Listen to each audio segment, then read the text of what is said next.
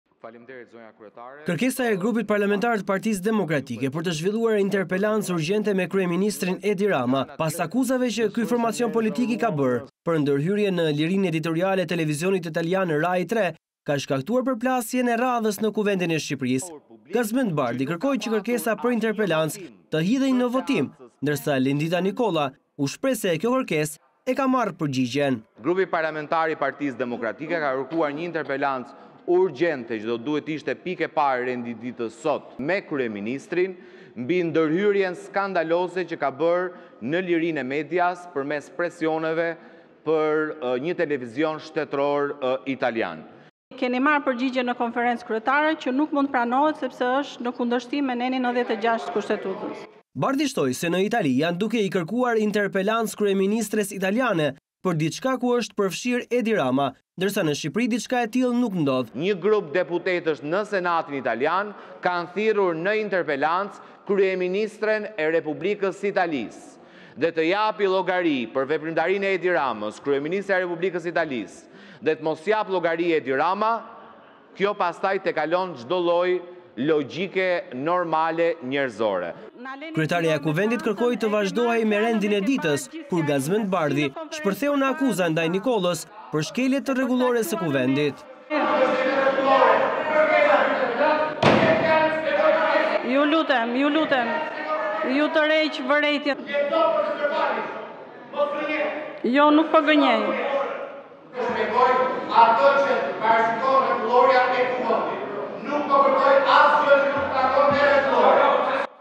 Pas këtyre përplasjeve, Nikolla lejoi Bardhin të parashtrojë kërkesën e tij për të zhvilluar interpelancë urgjente me kryeministrin Rama, ndërsa kreu i grupit parlamentar të PD-së tha se kreu i qeverisë duhet të japë llogari sa i takon bashkëpunimit të vëllait të tij me grupe kriminale e po ashtu edhe të Engjëll Agaçit me botën e krimit të organizuar. E gjithë vëmendja e kthyer te Engjëll Agaçi bëhej për të fshehur, Diçka thelbësore në investigimin e Rai 3 që kishte të bënte me dyshimin sipas dokumentave të prokurorisë dhe dokumentave gjyqësore të vllait të kryeministrit në trafikun ndërkombëtar të laboratorit të parë dhe më të madh në Ballkan të kokainës, laboratorit të Xibrakës. Në fund, me pesëdhjetë e gjashtë vota kundër interpelancës, socialistët e rrëzuan kërkesën e grupit parlamentar të PD-së. Kush është dakord për zhvillimin e interpelancës kërkuar?